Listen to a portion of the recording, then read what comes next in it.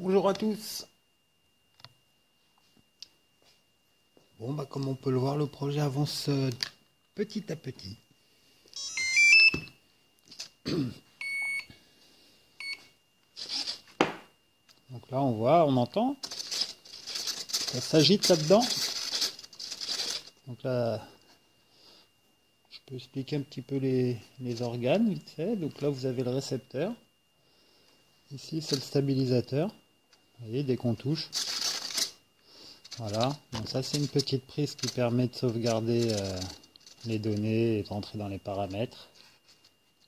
Oh, bah, il y a beaucoup de lumière déjà. Pardon, excusez-moi.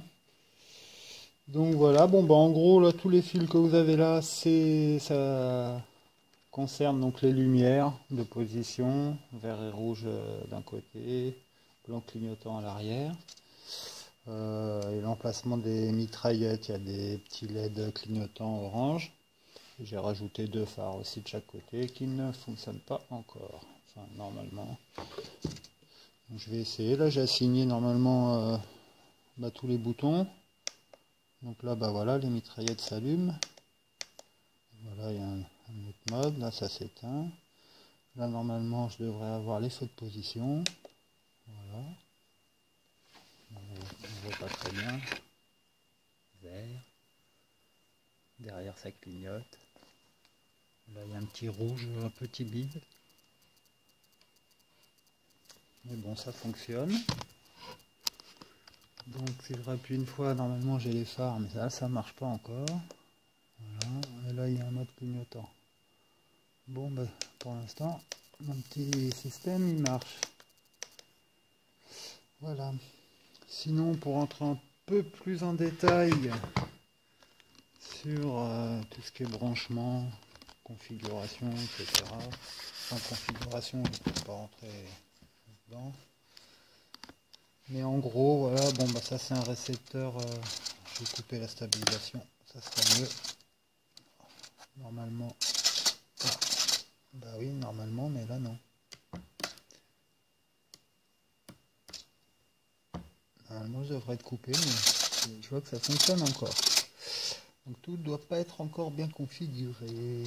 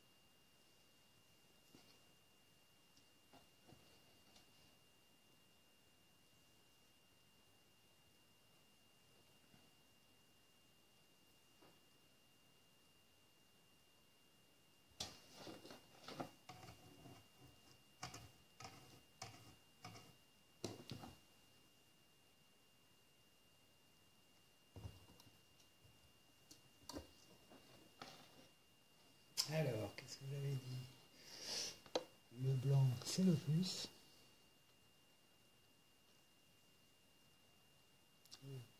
Très bien étamé tout ça.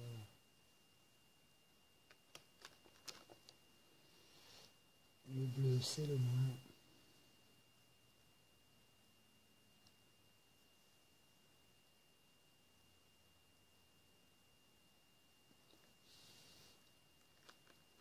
Et voilà, voilà. Bon. On va vérifier si ça marche tout ça là. bon. Voilà. Petit coup de gaine thermo, c'est pas mal aussi. La vieille gaine.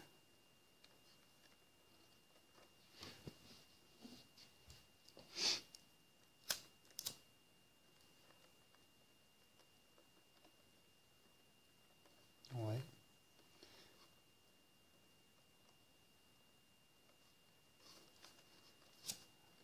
je ne simplifie pas la tâche.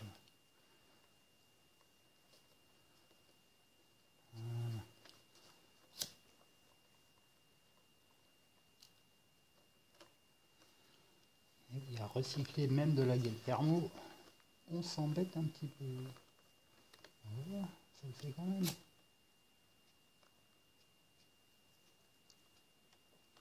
Tac. Ah, encore un petit bout. Voilà.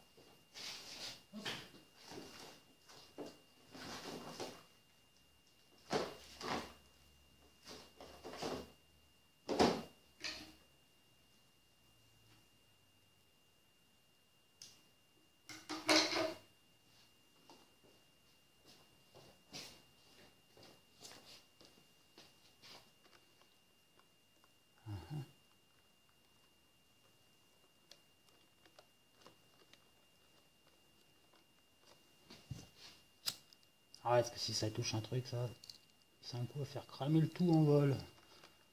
Bon. C'est isolé. Ouais. Donc, c'est les phares. Normalement, ça se branche ici. Voilà, voilà. Alors, on allume le télécommande. Toujours en premier. On allume l'appareil.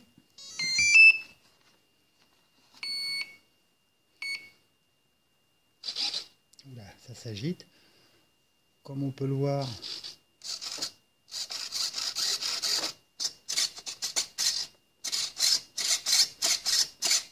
ça commence à, prendre vie.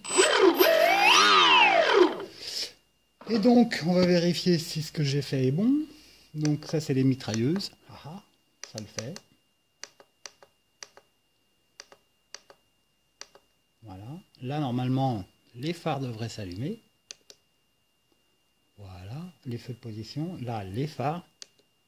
Et ça marche pas. bon. Ah, que recoucou Bon, ben voilà, j'ai fait une petite euh, modif là, suite à l'essai de tout à l'heure qui était pas trop concluant.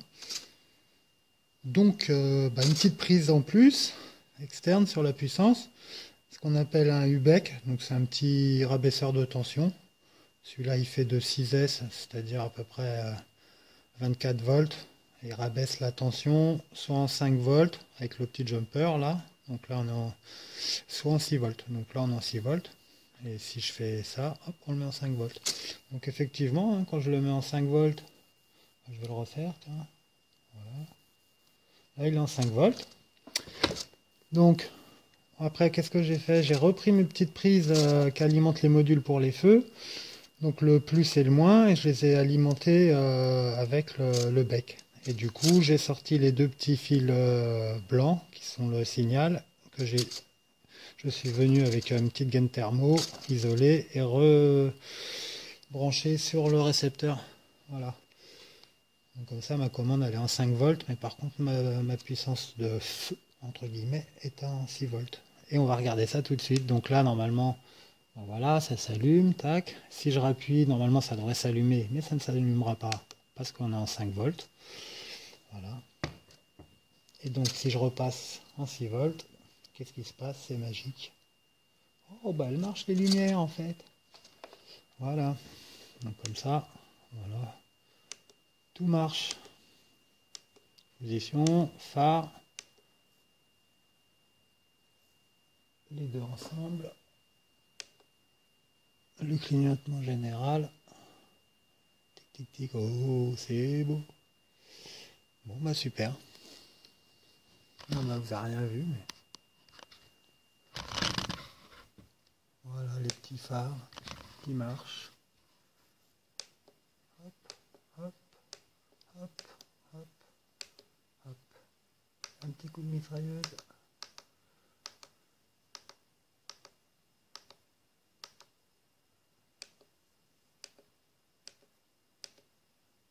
Bon, ben voilà, tout marche. Ouais.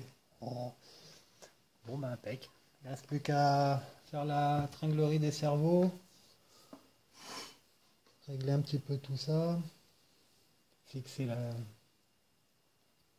la queue, remonter le tout, et puis euh, après on passera au réglage du stabilisateur.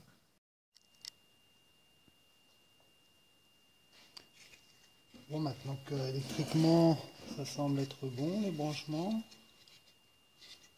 je vais mettre mon petit support que j'ai fait en plus qui solidifierage pas mal, pas mal ensemble. Tac, tac, tac. Petit support en bois, attention de ne pas abîmer le reste. Oula, c'est un petit peu euh, laborieux. Mais ça y va. Tac.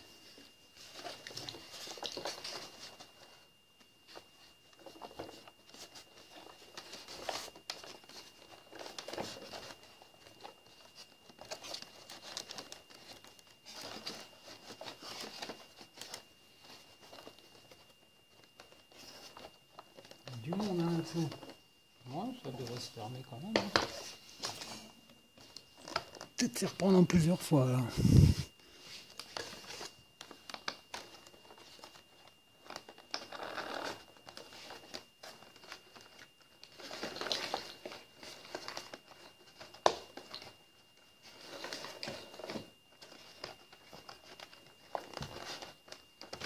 Yes.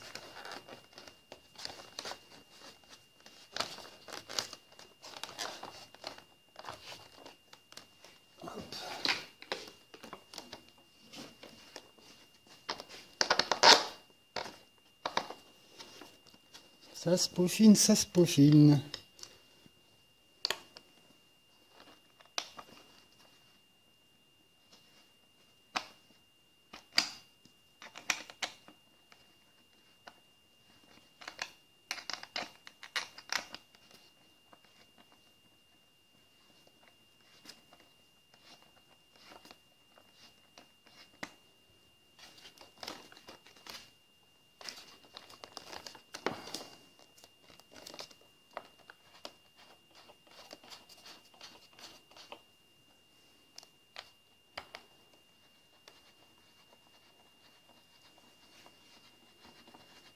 Vise un peu ce coup de patte là, de la clé à laine. Ah, ça en a tourné de la vis, mais je te le dis. Clac, pas trop.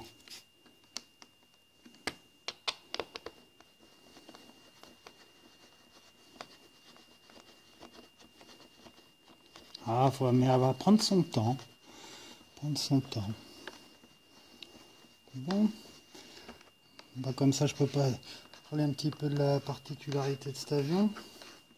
Comme vous pouvez, bon, en général, en avant classique, il y a le moteur au niveau des commandes.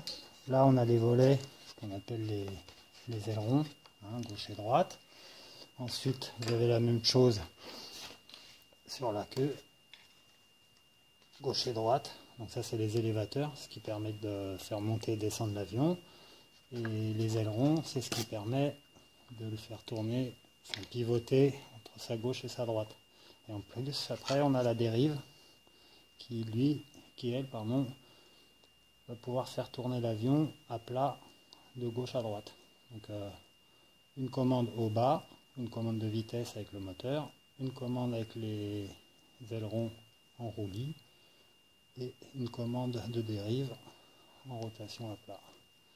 Voilà. Et avec ça on pilote. Bon, ça a l'air serré. Encore un petit coup. Hop. commence à prendre forme le bébé petit à petit.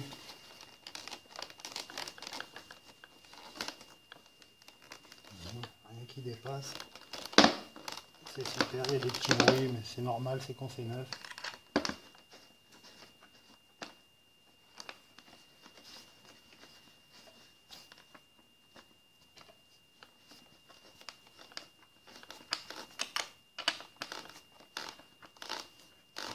Là, ça fait crac. Voilà. Un petit peu.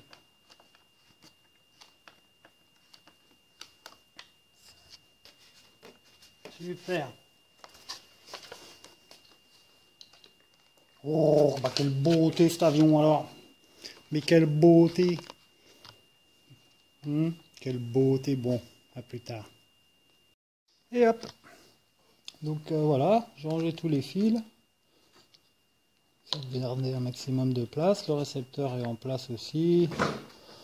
Le stabilisateur est à sa place. Donc euh, j'avais préparé une petite latine pour ça. C'est très important qu'il soit bien collé, fixe et à une place précise de l'appareil, à savoir c'est à peu près cette hauteur-ci et je l'ai mis au centre. Comme ça, euh, au niveau du stabilisateur, bah, c'est la meilleure manière dont les données peuvent être prises et assurer vraiment une stabilité euh, optimum. Euh, quoi dire de plus? Les antennes du récepteur, donc il faut les mettre à 90 degrés. Donc j'en ai ici la petite barre rouge là, les piqué dans le polystyrène dans ce sens-là et l'autre dans ce sens-là. Voilà, comme ça, ça tient et ça permet bah, une bonne orientation euh, pour la réception. Voilà, voilà. Qu'est-ce qu'il reste à faire? Eh ben, la tringlerie, euh, coller la queue, remettre les petites loupiottes euh, propres, puis faire le réglage après des cerveaux et du stabilisateur. Bon, ça touche à sa fin. On est à 80%. Alors quand tu colles euh, ce genre de truc là, surtout tu mets pas de la glu, hein. sinon ton avion il fond sur place quoi. je prends de la colle à semelle, la néoprène quoi. Ah mais là je vais peut-être même pas pouvoir, euh, vu que j'ai tout machiné, j'aurais peut-être coller avant. un petit coup de néoprène et pigard. Ouais.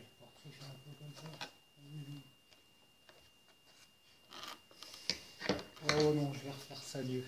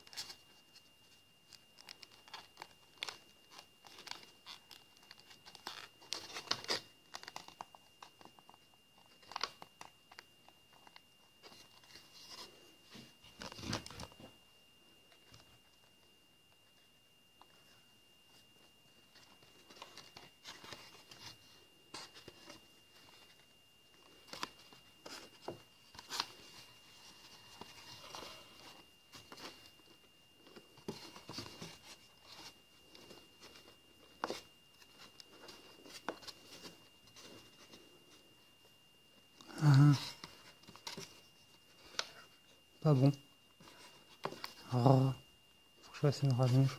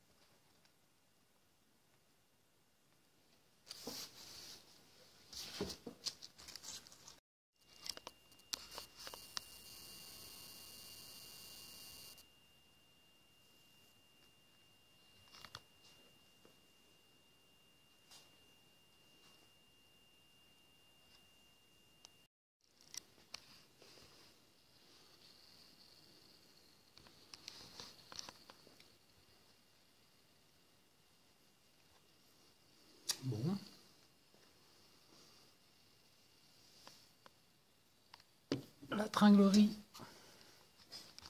est enfin montée. Pardon, excusez-moi. Voilà. Voilà. Donc, il euh, faut bien que ça soit aligné, que ça frotte pas. Et voilà. Il nous reste plus qu'à mettre les vis.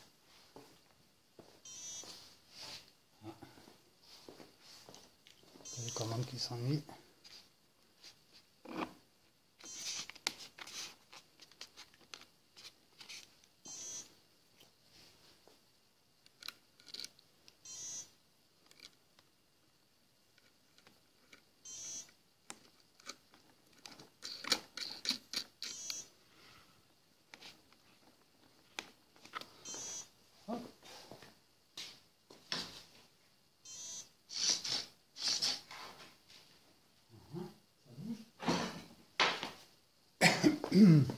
Est-ce que c'est la bonne Ouais.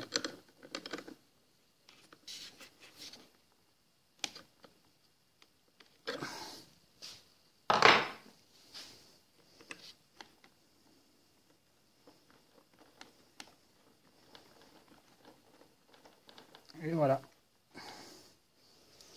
Alors attention parce que un tout petit coup de gaz. Ça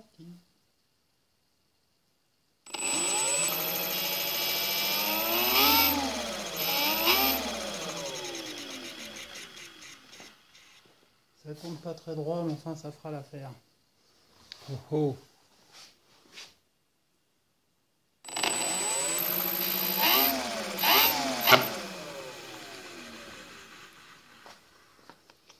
Bon, je vais essayer de pas le casser tout de suite quand même. Bon, alors pour le moteur, on, dirait que ça marche. Ça marche, ça marche. Pour le train d'atterrissage, donc normalement c'est le petit bouton qu'elle a. Ça marche aussi.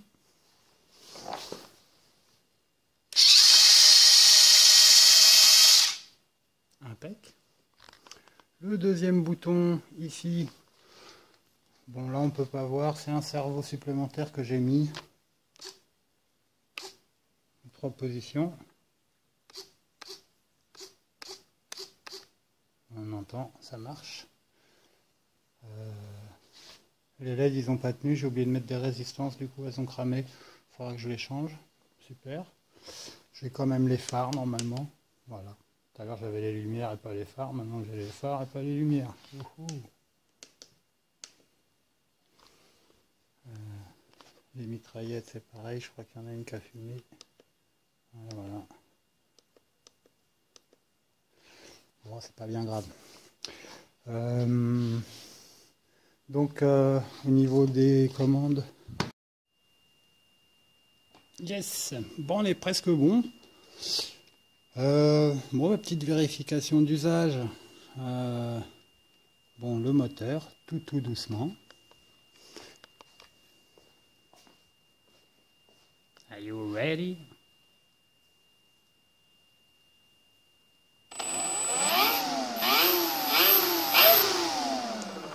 Ok, on se calme. Pour le moteur. Et c'est moteur pilote, c'est ok. Un atterrissage.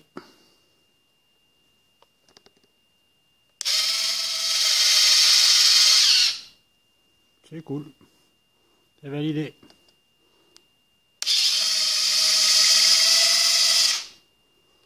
Hmm. Ensuite, les commandes de vol. Alors, là, on a la, les ailerons, hein, si on se rappelle bien. Ça marche. Ici, on a donc la dérive. Attention à ne pas mettre les gaz hein, quand on... Voilà.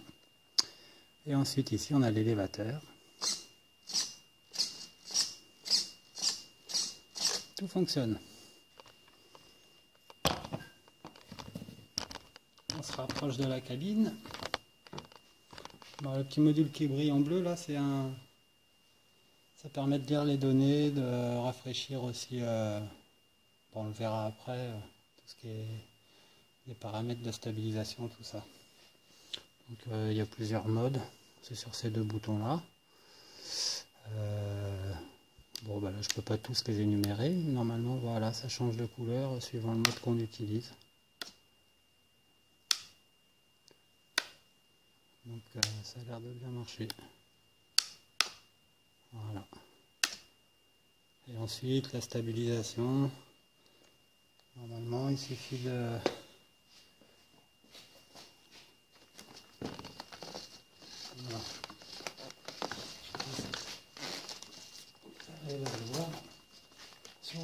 mais quand je penche l'avion, l'aile euh, réagit le remettre à plat et donne sur l'arrière. Donc on a bien les trois axes euh, qui sont gérés euh, par le gyroscope. Bon après il faudra voir les plusieurs euh, les plusieurs modes. Si j'arrive à pas le casser avant. On y voilà. Bon moi je suis content. Il y a encore pas mal de boulot, mais ça risque d'être un beau petit joujou quand même.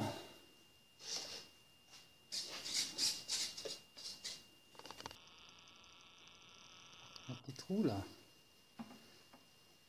Et eh ben normalement, voilà, elle tourne en que ça dérive. Ça permet de diriger l'avion quand vous êtes sur la piste. C'est pas mal.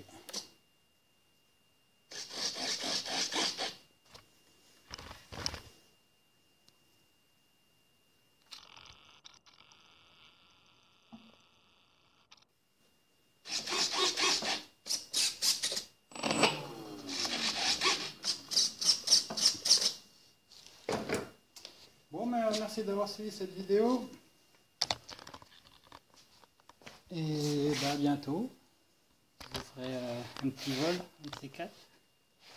Allez, un petit coup de pelle de phare avant de partir. Voilà. Ciao, ciao.